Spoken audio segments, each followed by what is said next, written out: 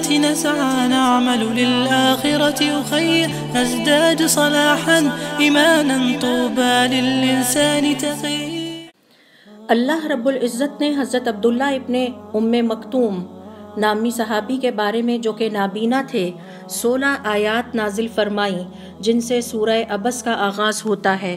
اور حضور اکرم صلی اللہ علیہ وسلم کو تاکید فرمائی کہ ابن مکتوم کا خاص خیال رکھا جائے۔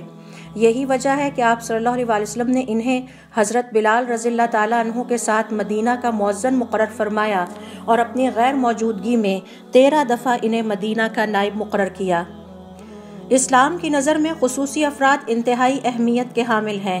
یہی وجہ ہے کہ اسلام کی خدمت میں ان خصوصی یعنی معذور افراد نے اپنا بھرپور کردار ادا کیا اور اپنی معذوری کو اللہ تعالیٰ کی اطاعت گزاری اور فرما برداری میں رکاوٹ نہ بننے دیا۔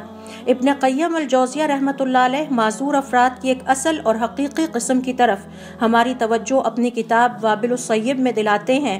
یہ وہ معذور افراد ہیں کہ جن کے بارے میں قرآن کریم میں اللہ تعالیٰ نے صورت البقرہ کی آیت نمبر اٹھارہ اور ون سیونٹی ون میں ان کی معذوری کی طرف اشارہ کیا ہے۔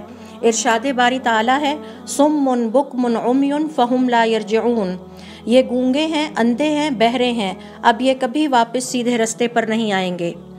یہ وہ معذور افراد ہیں جو آنکھیں، زبان اور کان رکھتے ہیں۔ بظاہر وہ کسی قسم کی جسمانی معذوری میں مبتلا نہیں، لیکن سوال یہ پیدا ہوتا ہے کہ انہیں اللہ رب العزت نے کیوں اندھے، گونگے اور بہرے کہا ہے۔ یہ لقب انہیں اس لیے دیا گیا کہ وہ حق بات نہیں سن سکتے، نہ حق بول سکتے ہیں، نہ حق دیکھ سکتے ہیں۔ یہ حقیقی معذوری ہے۔ معذوری جسم میں نہیں، سوچ میں پائی جاتی ہے۔ لہٰذا معذور ہے ہر وہ انسان جو جھوٹ بولتا ہے اور سچ بولنے سے عاجز ہے۔ معذور ہے ہر وہ انسان جو بد اخلاقی کا عادی ہو چکا ہے اور اچھے اخلاق پر قدرت نہیں رکھتا۔ معذور ہے ہر وہ انسان جو اپنے دل میں اللہ تعالیٰ کی فرما برداری اور ایمان کے لیے محبت کے جذبات نہیں رکھتا۔ معذور ہے ہر وہ انسان جو بنی نوع انسان پر بوجھ ہے اور انسانوں کے لیے مفید اور کارآمد نہیں ہے۔ معذور ہے ہر وہ انسان جو پست، ہمتی اور چھوٹی سوچ کا شکار ہو چکا ہے۔ یہی دراصل حقیقی معذوری ہے جس کی طرف اللہ رب العزت نے صورت البقرہ میں اشارہ فرمایا ہے۔